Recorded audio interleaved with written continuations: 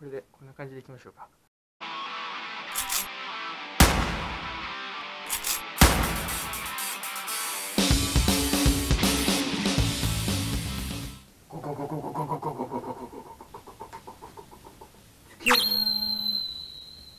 バルトのボーカルそして告白。リードワンティーネのボーカル星野ソータでござソーローおめでとう。おめでとう。ありがとう。ありがとう。ついについに皆様新カメラが来まして到着しました。イエーイ。いやー嬉しい限りでございます。嬉しい限りでございます。きっとね素敵な素敵な画質のクオリティの高い動画になるかと思います。僕のべしゃりは置いといて。僕のべしゃりは置いといてね画質的に見た目的に音質的にかなり向上されるんではなかろうじゃないでしょうか。なんだその日本語、うん、興奮して、えー、言葉が変な風になってしまいましたが、えー、そうです。新カメラ新調入りましたでもね紆余曲折あったんですよ。紆余曲折あったんですよ。ちょっと聞いてくださいよ。ちょっと聞いてくださいよ。まずねまあ僕はカメラとかそんなにあの、詳しくないんでまあますみ社長にお願いしたんですよ。まあいいスペックでなるべくリーズナブルなやつありませんかね。メールで送ったらあこんなのがいいよっていうのを URL で送ってくれたんです。じゃあもう僕はもうますみ社長に絶対の瞬腹と信頼を置いてますのでもう別に何も見ずにね。うん。じゃあますみがおすすめする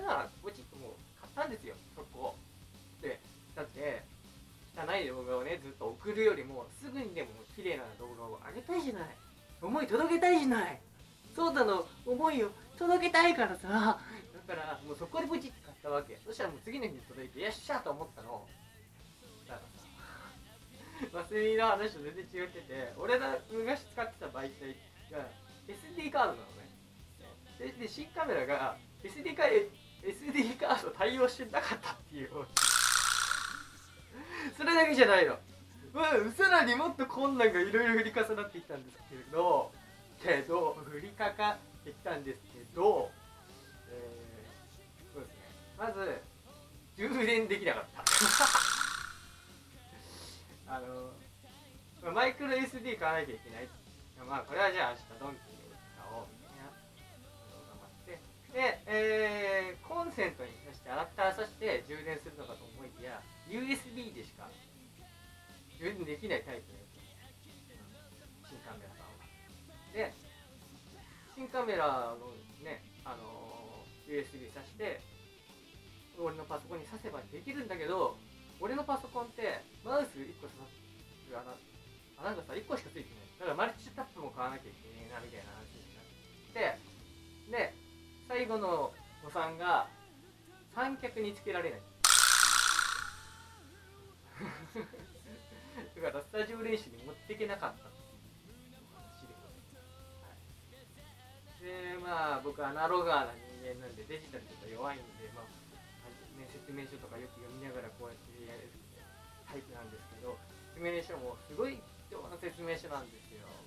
でまたさらに問題があって次の日ドンキに買いに行きました僕は SD カードそして僕は64ギガのいっぱい動画入るやつを買ったんですよ。マイクロ SD をそしたら刺しても刺しても何回刺しても何回刺しても何回刺してもカードが入っておりません。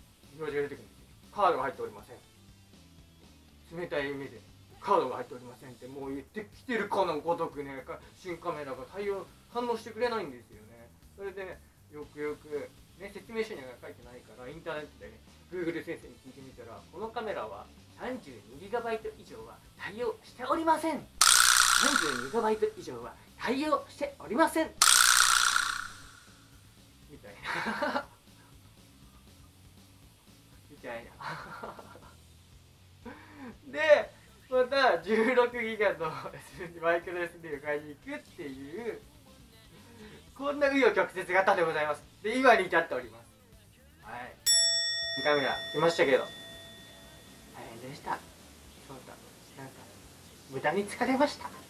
無駄無駄無駄無駄無駄無駄無駄無駄、これ徐々ネタね、うん、分かる人にだけ分かってくれるがいいですはいということでございますしかし新カメラも慣れてきたらきっときっと画像的にも良くなるし音質も良くなると思うので、これからの動画楽しみにしていてくださいませ、えー、最後までご視聴ありがとうございましたそしてチャンネル登録よろしくお願いしますそして星野壮太書籍第1弾俺の人生を命を含め綴った書籍第1弾 Amazon で買えますのでよろしくお願いします。